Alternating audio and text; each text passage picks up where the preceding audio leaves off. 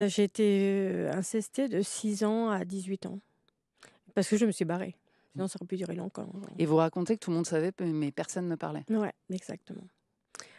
Tout le monde savait, mais bon, tout le monde couvrait mon frère qui était très impressionnant, très, charismatique et tout. Donc voilà. Votre frère qui vous a littéralement vendu à ses potes? Voilà, contre des bonbons, super. À votre, à votre majorité, Anne, vous faites vos valises direction Paris en Ouais. espérant là trouver refuge chez chez votre tante, Mmh. mais vous vous retrouvez à la rue. 1re nuit dans la rue? 1re nuit dans la rue, 1er viol direct et suite à ça, plus de 3 ans, heu, aphone, muette parce que au choc. Et voilà et donc heu, plus de 3 ans à faire des poubelles à La Défense. Vous découvriez aussi dans la rue une organisation immobilière mafieuse qui régit les les rues de Paris. On a du mal à y croire. Oui, nous aussi, heu, enfin moi aussi surtout, heu, c'est, heu, quand je fais la manche sur un trottoir, on me dit: «Ce trottoir appartient à un tel». Dis: «Ah bon? C'est nouveau, les trottoirs appartiennent à quelqu'un» et et apparemment et en fait, c'était vrai. Dès qu'on se posait quelque part, pardon, dès qu'on se posait quelque part, on avait, quelqu'un qui venait nous demander soit un pourcentage de la manche qu'on faisait et ça, c'est encore actuel, hein, parce que je Encore aujourd'hui? ah oui, oui, c'est encore actuel, hein. Je connais beaucoup de gens que c'est comme ça.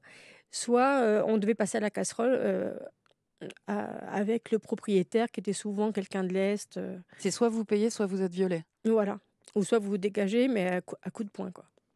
Vous avez été violée, Anne, une une quarantaine de fois. Vous expliquez dans votre livre Ouais, même que plus maintenant. vous avez arrêté de compter? ouais, j'ai arrêté de compter parce que maintenant j'ai plein de mémoires traumatiques qui se réveillent.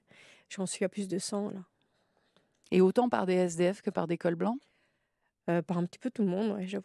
Heu, il y a des cols blancs pour, heu, pour expliquer c'est quoi, parce que les gens ils disent: «C'est quoi un col blanc?» c'est quelqu'un qui est en costard cravate et comme j'étais à La Défense, quelqu'un qui travaillait dans les bureaux et qui, qui venait entre entre midi et 2 heu, violer quelqu'un, quoi. Ou le soir avant Et de ça, partir à la maison, de ça, retrouver ça Bobonne. c'est pareil, ça existe encore. Il y a un monsieur en costume cravate qui un jour vous a dit que vous étiez moins chère qu'une pute. Ouais, exactement. Bah, j'étais gratuite. Donc c'est dur.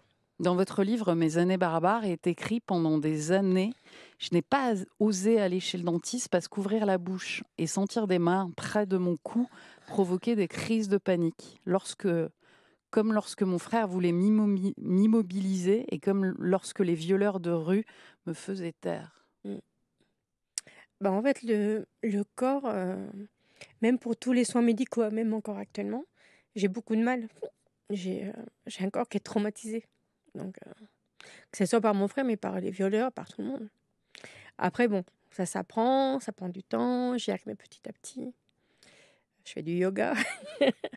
Je fais des choses qui font que voilà quoi, je je commence un petit peu.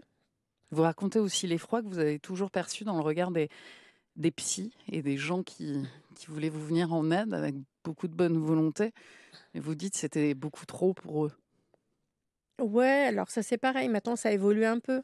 On est en 2023 et heu, heureusement, les psys commencent à être formés là-dessus et heu, les gens qui sortent de la rue commencent à avoir vraiment des vraies aides et pas juste des aides sur: «Oh ma oh pauvre jolie femme, qu'est-ce qu'est-ce qui vous est arrivé?»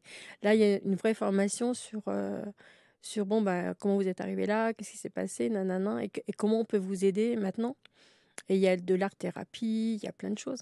Mais Moi, évidemment, j'en heu, fais et j'en j'adore. évidemment, c'est compliqué à notre niveau d'imaginer que vous soyez encore là, debout, costaud, pleine de motivation après avoir vécu autant d'années Bon, d'inceste. c'est dur la preuve, hein, j'ai des larmes. Sans parler Mais de ces heu, centaines de viols. mais bien sûr, mais en même temps, moi j'ai la rage de vivre et j'ai la rage, de ne rien lâcher et je lâcherai jamais rien. Ça, c'est clair que je reçois beaucoup de critiques aussi et ça, juste pour les critiqueurs, je ne lâcherai pas. Donc heu, déjà, ça me donne encore plus de rage. Mais après, heu, j'ai une force que je ne sais pas d'où elle vient, j'avoue. Heu, on me demande tout le temps: «Mais d'où ça sort?» je ne sais pas. Peut-être dans des vies antérieures, j'en sais rien. Mais heu, voilà, en tout cas, je suis là et je je lâcherai pas et surtout, je lâcherai pas les gens que j'accompagne.